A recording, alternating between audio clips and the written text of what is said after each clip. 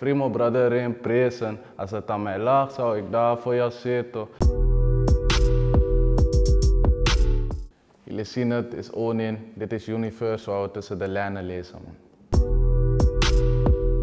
Kijk, ik had eigenlijk niet echt verwachtingen of zo voor die track. Het was meer gewoon mijn gevoelens uiten. En uiteindelijk was het gewoon een sterke track geworden. Ben ik gaan praten, gewoon mensen zeiden me ook gewoon van ik moet het gewoon uitbrengen. Super sterk. En dan vanuit daar heb ik het gewoon uitgebracht. Maar ik zelf ben er wel tevreden mee. Man. Dus hij zit nou vast. Ja man, nog steeds man. Hoe lang, hoe lang moet hij doen? Oh, nu, tot, van nu zit hij al zes maandjes ongeveer. Man. En hij heeft, uh, 17e heeft hij volgens mij die uh, definitieve zaak. Dat hij hoort hoe en wat alles is gewoon. Oké, oké. En zeg maar, als je, als je echt kon ruilen, zou je dan met zou je dan met hem ruilen? Tuurlijk man. Ik spreek hem best vaak wel man.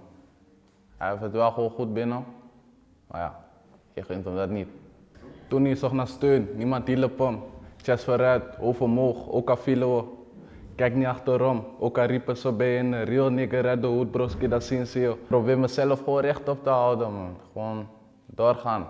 Als zit het even niet mee, je weet nooit wat in de toekomst toekomt man. Is gewoon, als je puur bent, gewoon je showt love naar iedereen gewoon.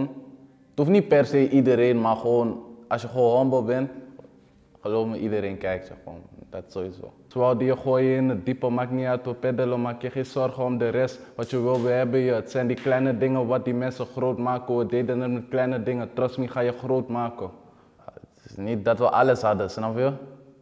En ja, ik ben nu gewoon bezig met muziek. Ik probeer gewoon goede dingen te doen.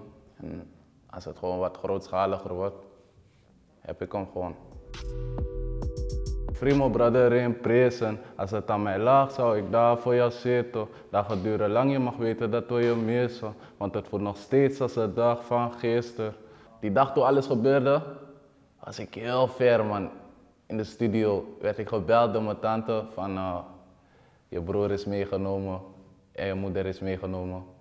Maar mijn zusje was alleen thuis, snap je? Dus ik werd een beetje para, want ik was op een afstand, niemand is daar. Dus mijn tante had hem meegenomen, gewoon mijn zusje. En dan vanuit daar ben ik naar huis gekomen, ben ik mijn zusje gaan checken, gewoon praten, babbelen, gewoon.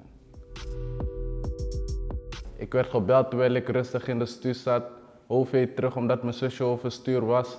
Bij mezelf dacht ik, wat ga ik doen met deze mannen met mijn hoofd vol, keek ik de trein uit en ik werd niet kalm. Het eerste wat ik dus zei, gewoon van, komt goed. Kan gewoon bij mij komen, ik ben ook gewoon je grote broer. Dat gewoon, gewoon op de gemak stellen eigenlijk, man. Niet dat zij het nu denkt, want mijn moeder was even weg, mijn broer was even weg, snap je? Dus, en zij is meer met mijn moeder, snap je? Ja, je moet je groot houden toch eigenlijk. Ja, maar ja, zelf zit je er ook mee, stiekem, maar ja. Veel vragen aan alle kanten, maar echt niks heb ik beantwoord, want het is niet jullie zaak. Het wordt nu tijd dat ik een man word. Alleen met mijn zusje, hij moet na gesprek op kantoor. Ik laat alles links liggen en ik kijk er nu dwars door. Ik had echt een meeting staan, man. Die meeting gewoon opzij gezet, man. Ik bleef gewoon thuis, man. Mijn brada was niet spits genoeg, ze waren hem een stap voor. Maar dat is geen stress, want hij breekt niet eens daardoor.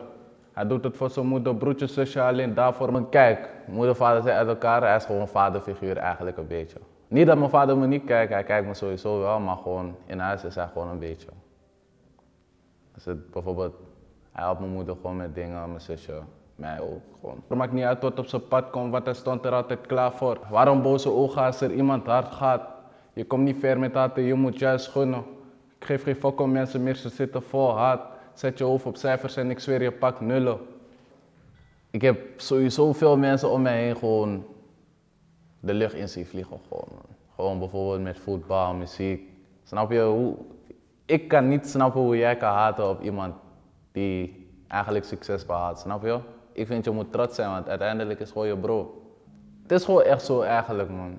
Als jij jezelf gewoon focust op verdienen, gewoon, of geld willen verdienen, gaat het ook gewoon lukken. Maar als je bezig bent met andere dingen, zo ja. Dus je focust niet daarop, dus dan ga je ook niet pakken. Laat me het zo zeggen dan.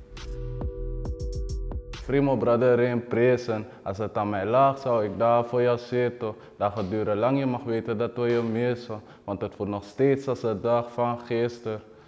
Ik wou er eerst eigenlijk niet eens over praten. Dus ik heb misschien twee weken of zo, ben ik geen studio geweest, niks, gewoon, ik zat er gewoon zelf mee. En ik ben ook niet echt het type die van praten houdt of mensen veel uitleggen hoe en wat, hoe alles zit. Ah, ik kan op één hand tellen wie er checkt. Als ik rich word, blow ik op en heel die fucking check. Steek mijn middelvinger op voor die flikkers met de badge. Op dat moment als het aan mij lag, los ik ballen uit die strip. Mijn brother zegt me altijd, je moet slim omgaan met webs. Maak mijn hoofd niet moe, ik wil rustig zoeken naar stacks. En als je mijn hoofd toch moe maakt, wil ik hem drukken op je chest. Mijn lont is korter dan normaal, dus je gaat duiken als je test. Kijk, ik ben gewoon sneller op mijn teentjes getrapt nu, op dit moment. Gewoon. Ah, Kijk, ik ben gewoon echt twee maanden gewoon met mijn brother eigenlijk. Snap je? Ja, nu heb ik eigenlijk niet echt iemand om mee te praten. Ik ben ook geen prater, ik hou dingen liever voor mezelf. Yes, ga jullie abonneren op dit kanaal, op mijn kanaal. Ga jullie me volgen op Instagram, Onin20k. Pauw.